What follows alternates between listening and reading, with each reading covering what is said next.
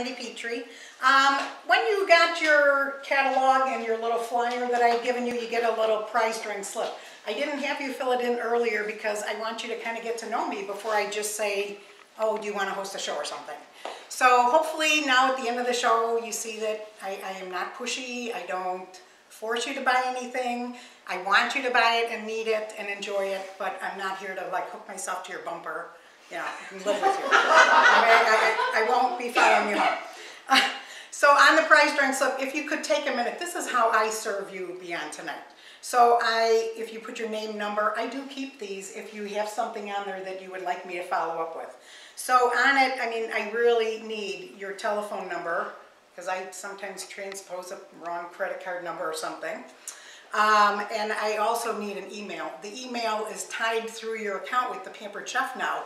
So if I don't have your receipt, I always have your receipts, but in case I'm not around, whatever, then you can call the home office and they know everything you've bought from your email address. So that ties your account into your own. Um, but on the back, just after a couple minutes, they'd also ask you if you want to host a show. I would love to come and do a show. Um, it also asks if you'd like some information about what I do and even a wish list. So this is, again, how I serve you beyond tonight. So um, I want you to just take a second and turn it over and I just want to ask you four little quick questions. So um, on the back, can you just write down two things that you liked about today's show and two things that you might have learned, even just if it's one thing. Um, just what you thought was interesting and what you learned. Okay?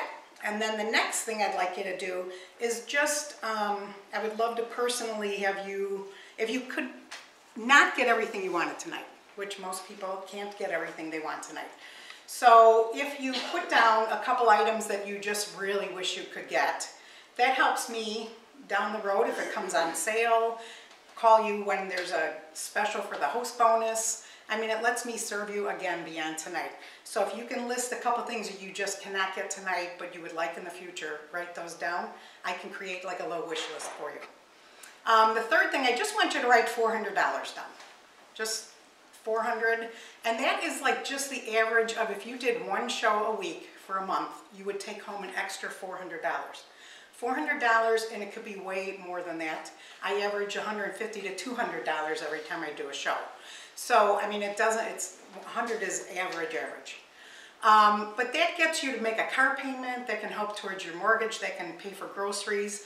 And a lot of people actually can go bankrupt with three, because of $300 a month. So this can keep somebody out of like losing their home, just making that three, $400 and working one night a week instead of going out to like a Kohl's and they're gonna tell you when to work.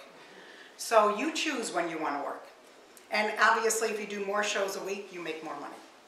And then my last number four question is, um, I would like you to just ask me any question about my business that you would like to know about. And I honestly can tell you to be nosy. You can ask me anything, it's okay. It's money's, you know, anything is on the table.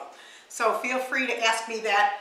And then once they've filled this out, then I would actually just ask a couple people to tell me what they learned, what they liked, if they would do some feedback, and then what items would you want, and then I would maybe tie into what the host special would be coming up. And then the questions obviously about recruiting, um, you know, then you know you can talk to them later.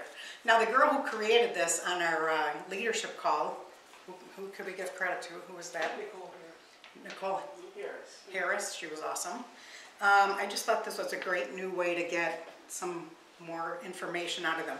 She does not even look at this at her closings. She doesn't take this out and say, oh, I see you uh, want a show or something. She says she asks everybody if they'd like to host a show or recruit, and then looks at this when she goes home and follows up. So she makes sure she asks everybody, not just the ones who did it. So, okay. Thank you.